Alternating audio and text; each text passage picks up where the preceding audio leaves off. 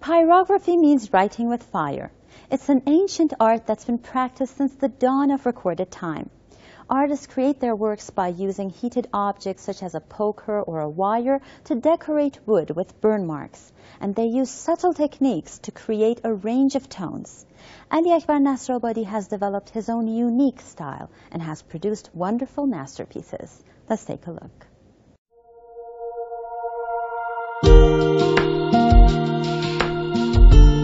A wooden canvas and a burning brush.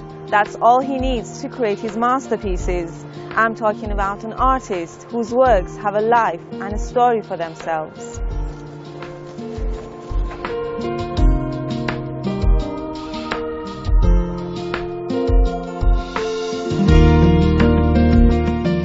A sense of serenity and calmness. A peaceful walk through the woods.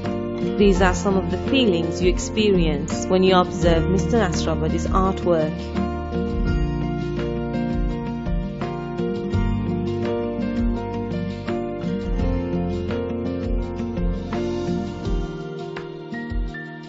Ali Akbar Nasrabadi has worked on the technique of wood burning for many years now, and his works mostly contain key elements of the Iranian history and culture.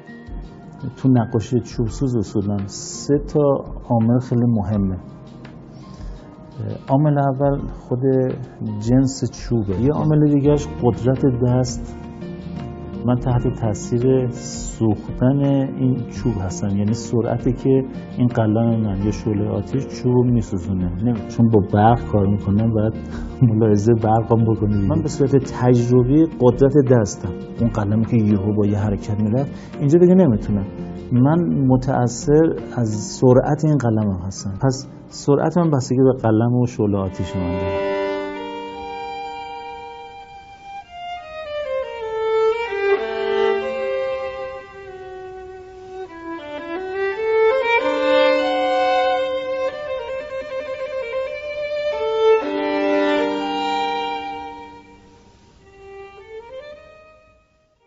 یه جاهایی شما واسه اینکه یه نواخت حاصل بشه خب از شعله آتیش استفاده می‌کنن. اونم ابزارهای مختلف داره مثل این چرا کوره یا یا از این فندک های مخصوص. اگه سوخت دیگه سوخت. دیگه هیچ کارش نمیشه کرد. یا باید چوب تو قلب کم بکنی یا اون سوخته رو حالا در با موجود یه جوری هماهنگ بکنی. شما عین یه قلم چجوری این قلم رو دستتون می‌گیرید؟ اینم دقیقا فکر کنین این قلم رو داریم بردارین. همون جوری بردارین بگیرین دستتون. دستتون هم نباید بلرزه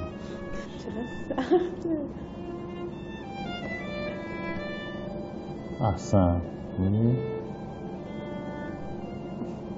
حالا اصل مطلب اینه که شما با این سوزوندن در واقع سایه ها رو میسوزونید سرعتتون رو متناسب با ولتاژ این برق و جنس چوب هماهنگ باید بکنید آروم برین جلو. نه سریعتر نه یواشتر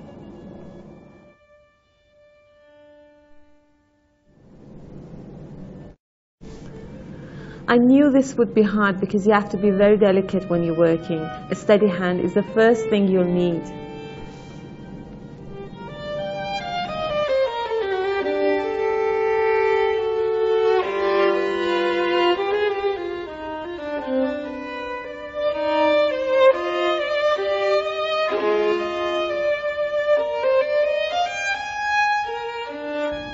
همه چی مرده است یعنی این قسمت جلو برگ ها و پایین مرده است تنها چیزی که حیات درش هست اون روستایی که اون پشت سره همین اتفاق در آینده واسه اونا میفته Nasrabadi's portrayal of Iranian architecture is quite remarkable.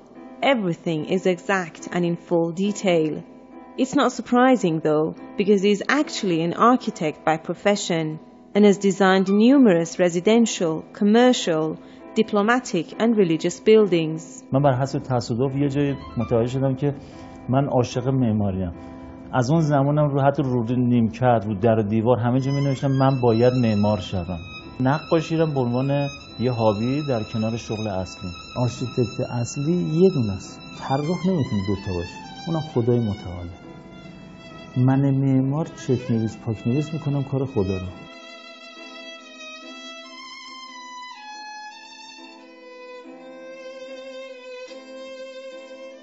آقای نصر آبادی می‌تونم بگم قبل از اینکه هنر نقاشی رو داشته باشن مهمترین چیزشون اخلاق خوب و هنر خوب زندگی کردنشون در اول هست بعد هنر نقاشی.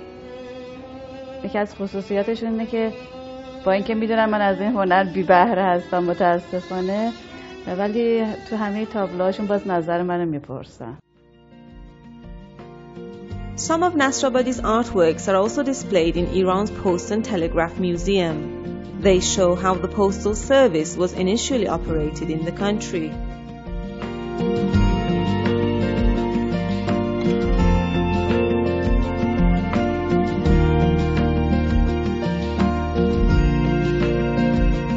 Fire destroys, but sometimes it can burn to give birth to an artistic creation. Hoda Lezgi برای ایران.